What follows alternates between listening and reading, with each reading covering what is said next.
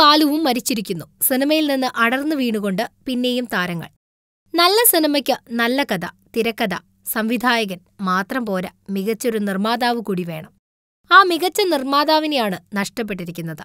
ചെന്നൈയിലെ പ്രശസ്ത ചലച്ചിത്ര നിർമ്മാതാവായ കെ ബാലുവിനെയാണ് സിനിമയ്ക്ക് നഷ്ടമായത്.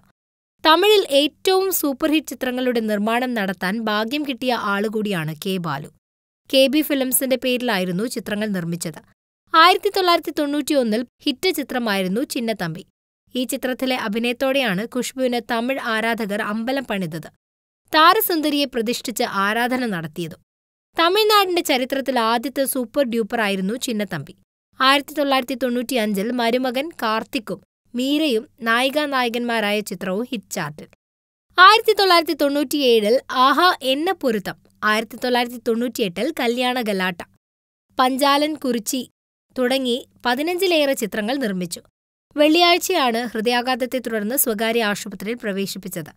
തുടർന്ന് കോവിഡും ബാധിച്ചു.